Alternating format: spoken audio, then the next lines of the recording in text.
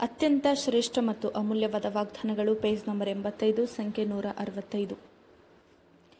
ಭೂಮಿಯ ಮೇಲಿರುವ ನಮ್ಮ ಮನೆಯು, ಅಂದರೆ ನಮ್ಮ ದೇಹವೆಂಬ ಗುಡಾರವು ಕಿತ್ತು ಹಾಕಲ್ಪಟ್ಟರೂ ದೇವರಿಂದುಂಟಾದ ಒಂದು ಕಟ್ಟಡವು ಪರಲೋಕದಲ್ಲಿ ನಮಗುಂಟೆಂದು ಬಲ್ಲೆವು. ಅದು ಕೈಯಿಂದ ಕಟ್ಟಿದ ಮನೆಯಾಗಿರದೆ ನಿತ್ಯವಾಗಿರುವಂಥದ್ದಾಗಿದೆ. ಎರಡು ಕೋರಿಂತ ಐದನೇ ಅಧ್ಯಾಯ ಒಂದನೇ ವಚನ.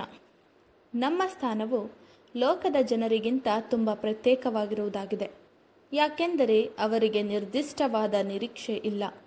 ಲೋಕದವರಿಗೆ ಸ್ಥಿರವಾದ ಲಂಗುರು ಇಲ್ಲ. ಗಟ್ಟಿಯಾಗಿ ಹಿಡಿದುಕೊಳ್ಳಲು ಅಮೂಲ್ಯವಾದ ವಾಗ್ದಾನಗಳು ಇಲ್ಲ. ನಮಗೆ ತಿಳಿದಿರುವಂತೆ ನಮಗೆ ಹೀನತೆಯಲ್ಲಿ ಅತಿ ಹೀನ ಸ್ಥಿತಿ ಬಂದರೂ ಹಸಿವೆಯಿಂದ ಸಾಯಬೇಕಾದರೂ ನಮ್ಮ ನಿರೀಕ್ಷೆಯು ಪರದೆಯ ಆಚೆ ನೆಲೆಗೊಂಡಿದೆ.